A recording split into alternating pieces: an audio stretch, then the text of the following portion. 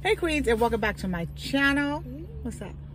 Today we're going to talk about who benefits when you don't love yourself. Who benefits? Is it your kids?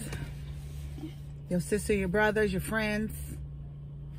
Who benefits when you don't love yourself?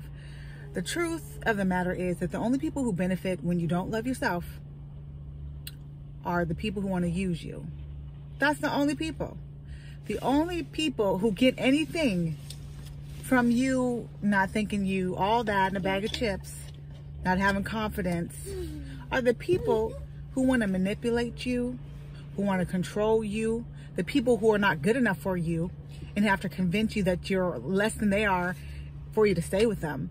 Because they know the moment that you realize who you are, the moment that you realize you're a daughter of God, the moment that you realize that you have worth, the moment that you realize you have value, queen, you're going to be like, oh, heck no. Let me get my purse. Let me get my coat. Let me get my checkbook. Let me get my children and get the heck up out of here. Because life is better than this. I know God got something better for me. On the other side of this, no one benefits but people who want to leech off of you. People who want to drain your spirit. People who want to drain your energy people who don't want to see you doing better for yourself because they they're not doing better for themselves. People who who can't see the good in you because they can't see anything good in themselves.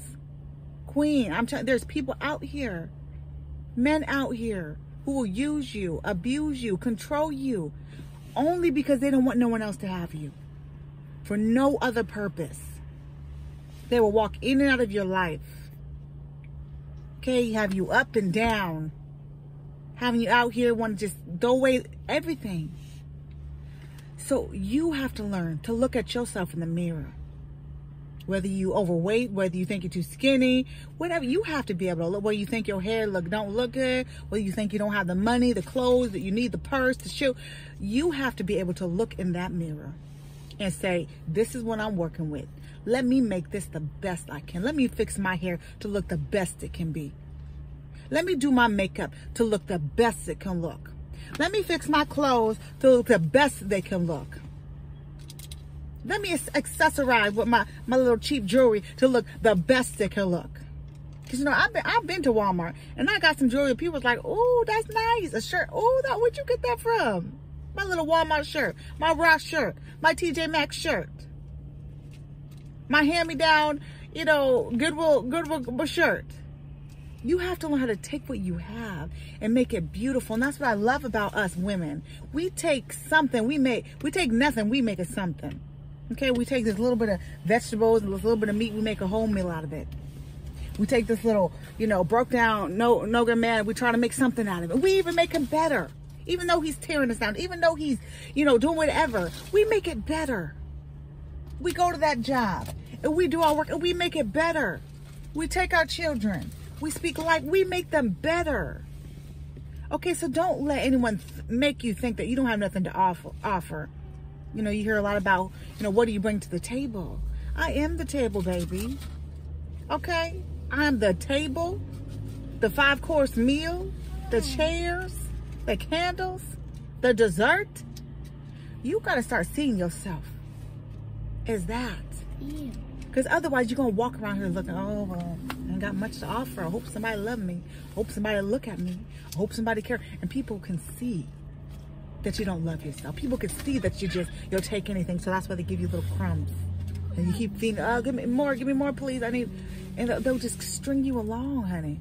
They will string you along until you broke, till you busted, till you're disgusted and you have nothing left.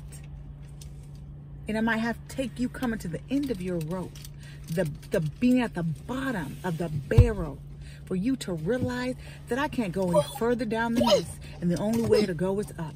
So you start speaking over yourself. I am a queen. I am beautiful. I do have worth. My past does not determine my future.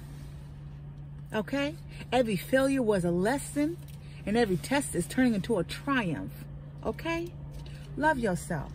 Encourage yourself and encourage your children because they're watching you if you have them.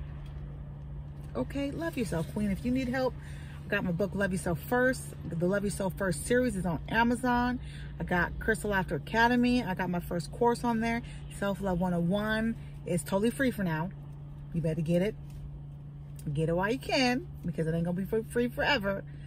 Mama gotta take care of these kids, so we gonna do that now to help you, sis. Go and sign up. It's totally free. You just put your email in. That's it. But I love you, Queen. Queen out. Keep your head up. Remember who you are. Till next time.